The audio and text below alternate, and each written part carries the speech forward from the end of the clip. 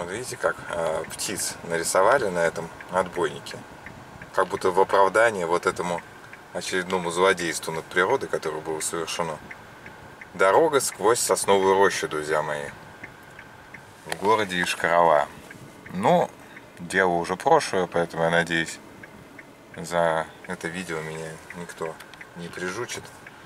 Но полностью проблемы я, конечно, не знаю, но насколько я читал и насколько я сам вижу по смыслу, эта дорога должна была связать какой-то район, а, значит, который там за Сосновой рощей, вот с этим районом Самбатхей. Но я вам одно могу сказать, что руководствуясь здравым смыслом, можно с уверенностью сказать, что это не Манхэттен с Бруклином, понимаете? И вот э, связывать вот такой дорогой тем более, значит, нарушая лес, ну, без комментариев. В этом Тойоте я, короче, был. Я там менял валюту, я там смотрел Тойоту.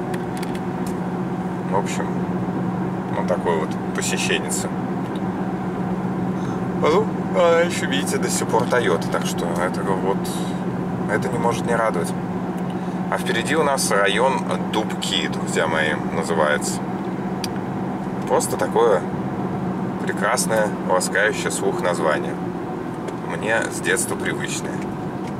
Ну а вам что? Что вам эти дубки? Вот. Тоже прирощенный дом. Это вот как в Самбатхии. Такие так называемые родные серые девятиэтажки, они тут тоже присутствуют. А вот в этом магазине, друзья мои, мы сюда с мамой ездили на троллейбусе. Такие вылазки дальние совершали. Я его тоже называл кирпичный. Было там у нас основной кирпичный, а это тоже кирпичный. И тут я купил себе Карлсона пластмассового, который потом, может быть, он отошел моему племяннику Эдику, но след Карлсона пропал, короче говоря. Но я его прекрасно помню на ощупь и даже помню, по-моему, цвет его штанов. Но с уверенностью сказать не могу. Так, тут как-то вот более чем странный перекресток. Сделали бы просто одну главную, одну второстепенную. Нет, надо сделать главное, поворачивать. Вот этого я